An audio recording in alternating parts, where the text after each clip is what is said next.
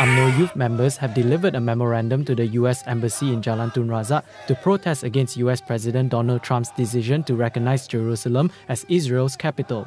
UMNO Youth Chief Khairy Jamaluddin led the protesters to march from the Tabung Haji Mosque to the embassy to deliver the memorandum after Friday prayers. The wing labelled Trump's decision as irresponsible and irrational. Pengumuman Presiden Amerika Syarikat Donald Trump yang Baitul Maqdis Jerusalem adalah ibu kota negara Israel adalah sama sekali tak boleh kita terima. The memorandum also said the decision displayed utter disrespect towards ongoing peace process in the Middle East and an outright ignorance of the Palestinian plight. Mark my words, President Trump.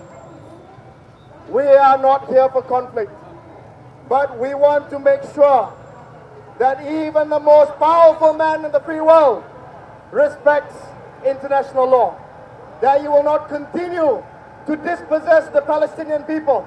That you will not continue to insult the feelings of not just Muslims, but people all over the world that want to see justice, that want to see peace. PAS Youth Wing and Malay nationalist NGO Perkasa also joined the protest, which lasted about an hour. The protesters demanded the US to retract the decision immediately and called for the United States to respect the United Nations Security Council Resolution 478 that condemned Israel's illegal occupation of Jerusalem.